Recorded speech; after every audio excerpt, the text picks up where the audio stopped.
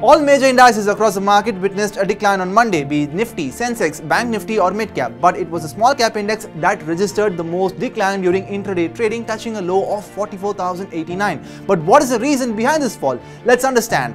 Analysts believe that small cap stocks had been trading at quite high valuations compared to their fair price for some time now and profit booking was due. Additionally, a profit booking spree in shares of PSU, banking, defense, power and railway sectors put further pressure on the small cap index. Also, the results of many companies here did not meet market expectations. On the other hand, the situation in the Middle East has deteriorated let alone the possibility of a ceasefire between Israel and Hamas, Israel has now escalated its attacks. Amidst such a situation, people are reposing more confidence in large cap shares than in small caps. However, compared to giants, trading volumes are lower in small shares. This also explains why the fluctuations are so significant as witnessed yesterday.